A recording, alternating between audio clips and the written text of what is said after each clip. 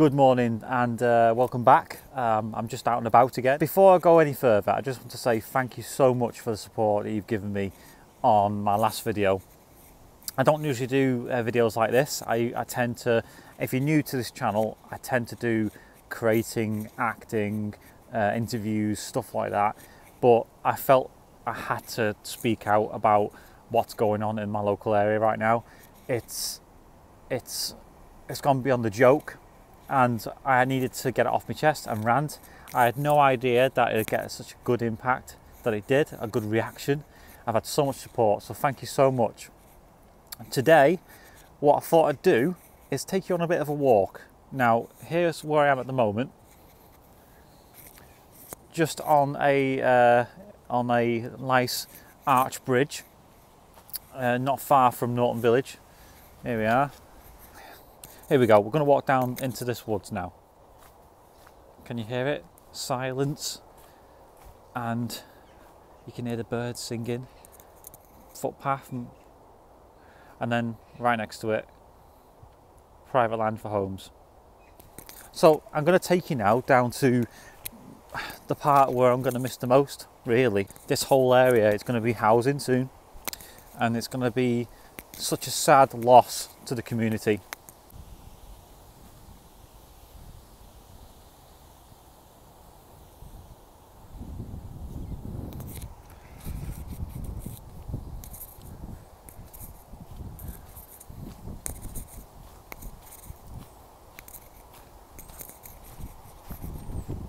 So all this is going to be the last to go um, when it comes to the Sandymoor development.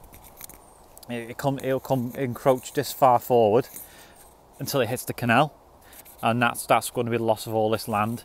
All this is going to be homes. All this and all this, and you can see in the distance right there where the housing estate has stopped for now, but all this is going to go.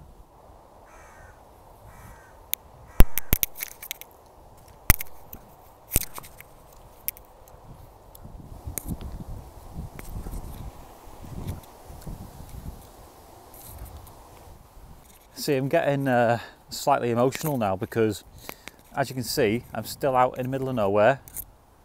Looks nice. See, that's, that emphasises the point here. This is like a pond, which is going to be surrounded by houses. Floodplain. And look at this. If I keep seeing another one of these sodding signs, just does my head in, honestly. We are here. And as you can see, used to be for agricultural and now it's saying Homes England on it. Oh, hello Mr Sheep. You alright? I beg your pardon. I've got no food. I don't think it should cross this way. It's probably going to get chased by a sheep. but all this land here, all everything you can see here will be houses if they have their way. I think this is the area that Mike is talking about. I'm going to go back around uh, to the other side. I'm going to show you some more stuff around this way. Look at how beautiful this is.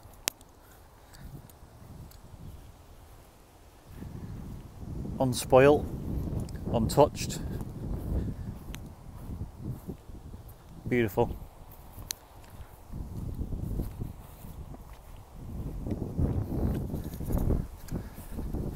So I've managed to get back onto the main track now because I managed to get stuck in stuck in some watery fields there. But um, as you can see, we're walking down again. Basically, no one around. This is all. This is all uh, nice nature walks, countryside walks. When you're down here, you realise how precious this this whole area is. That they're just going to sacrifice in the name of housing. Um, even though Runcorn has, has basically done its part for the best part of how many decades where they've been building on tons of land. That Runcorn used to be very leafy and very, very countryside orientated, but not anymore, eh?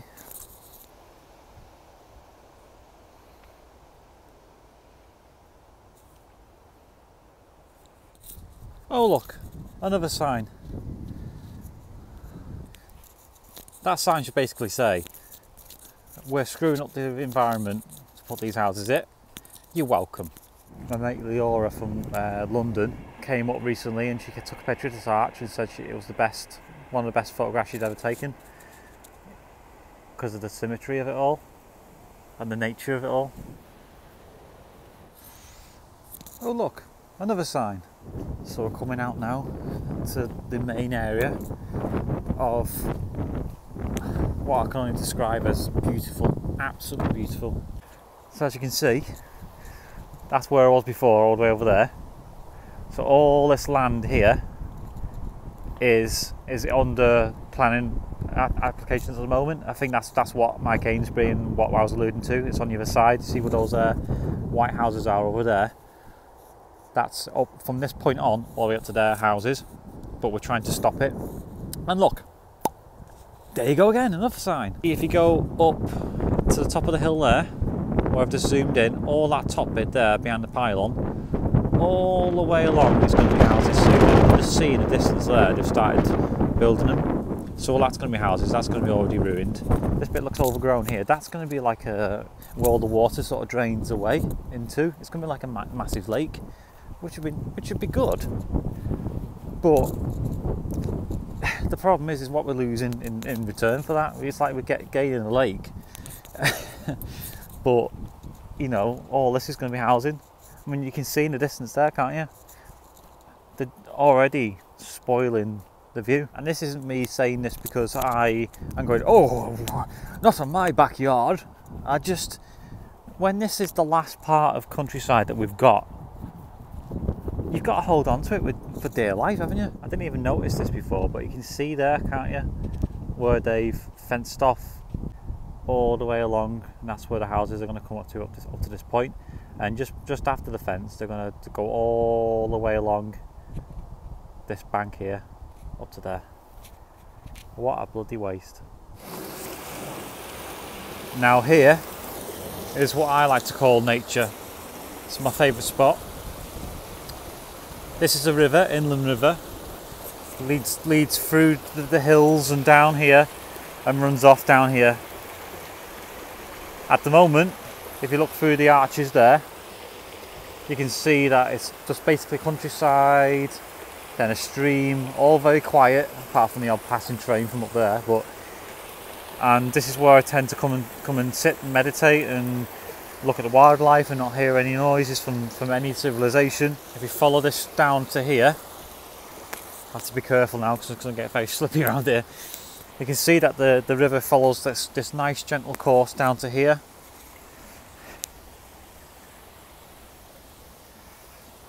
Comes around to here.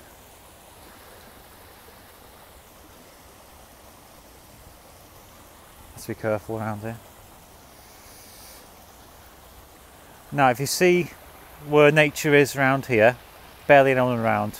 It's a lovely, lovely area for. It's a nice safe haven for all the wildlife like birds, foxes, badgers, stuff like that.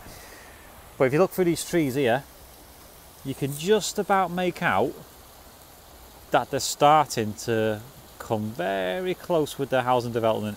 And on the plans, it's looking like they're going to come right up to that where that gap is there.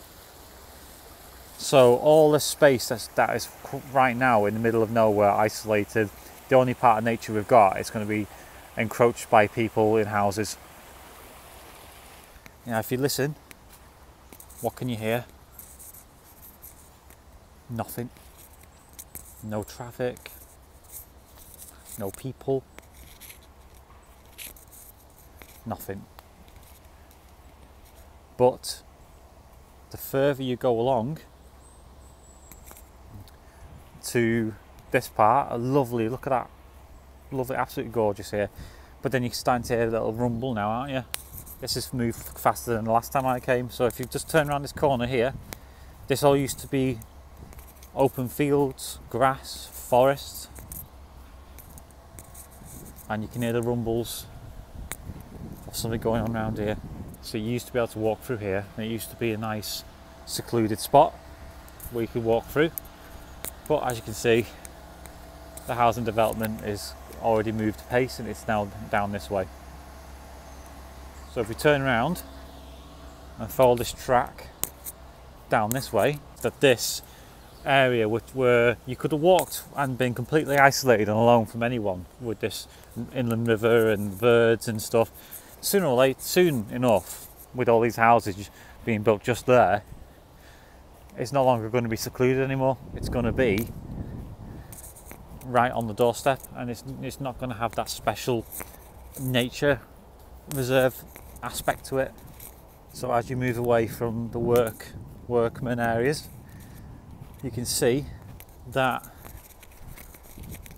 uh, there's barely one here, and it's very quiet again. It's gone very peaceful. We're in, we're in a part of a woodland now. The Woodland Trust manages this, but it's shrinking. Now I'll tell you what. I've been walking for a bit now in, in this part of the woods, and it's absolutely gorgeous. I remember as a kid, I used to walk through here quite a bit, um, just to get away from the main area of Runcorn because Runcorn Newtown sort of stopped near Windmill Hill and stuff like that. Um, and as you can see, it's absolutely gorgeous. Lots of open space, but we're starting to hear rumbles again. So we're going to come this way now through the through the main area of the forest and let's see what we find.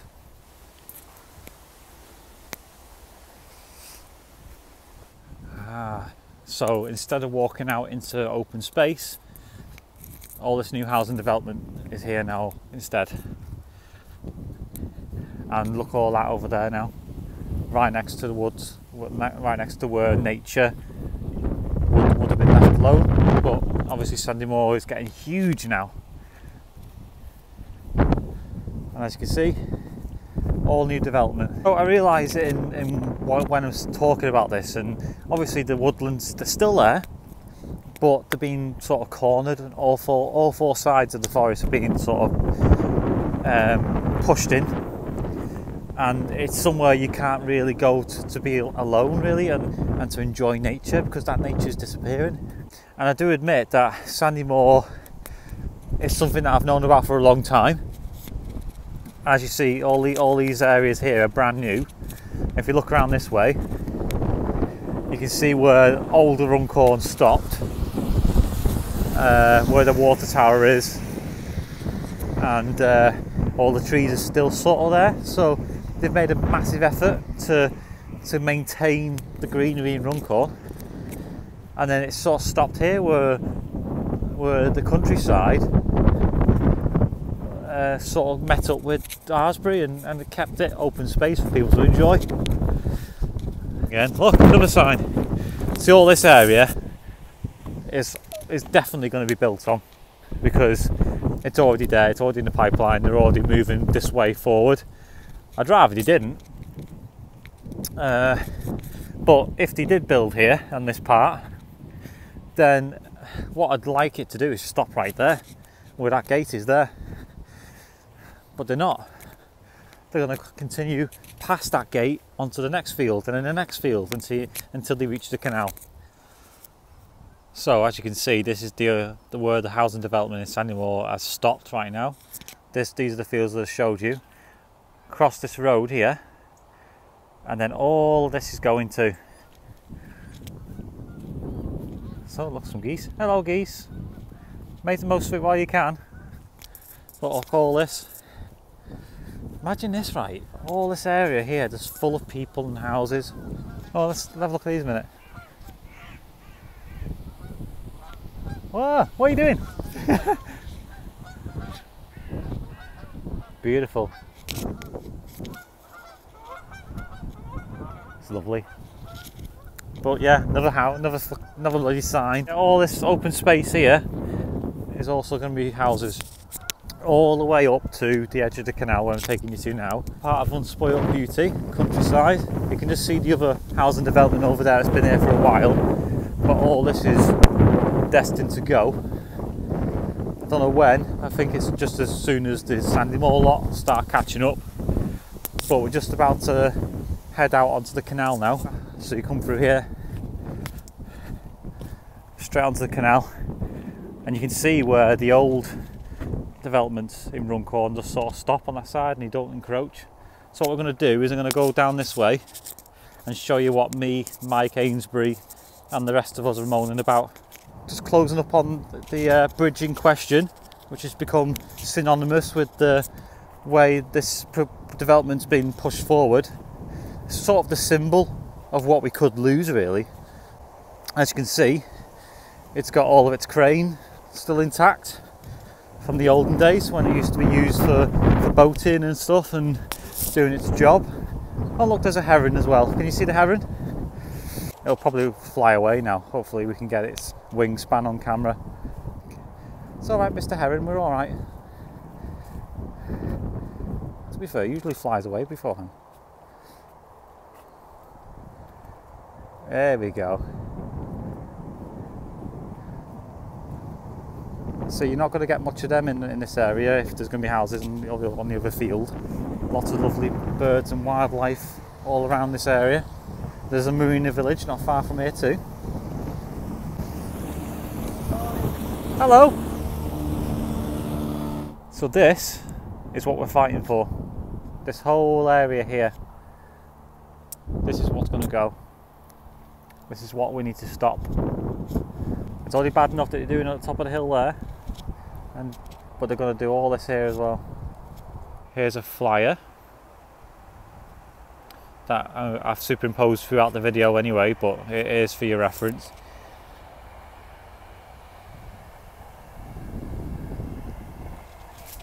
So there you have it.